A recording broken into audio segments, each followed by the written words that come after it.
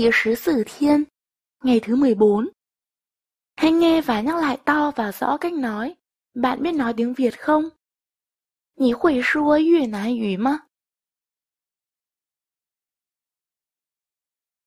Nhí khuỷu shua Việt Nam ngữ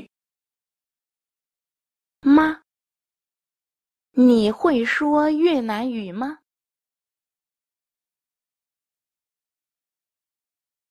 你会说越南语吗？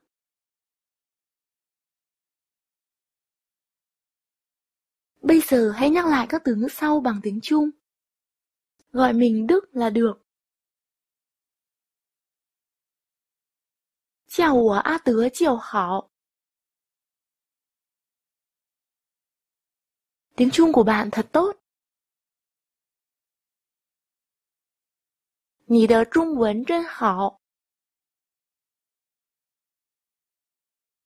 Còn phải nhờ bạn giúp đỡ nhiều. 还请你多多帮助。Mình chính thấy.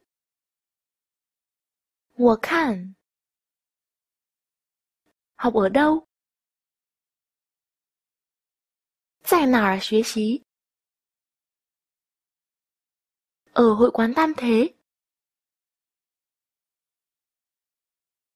在三世会馆。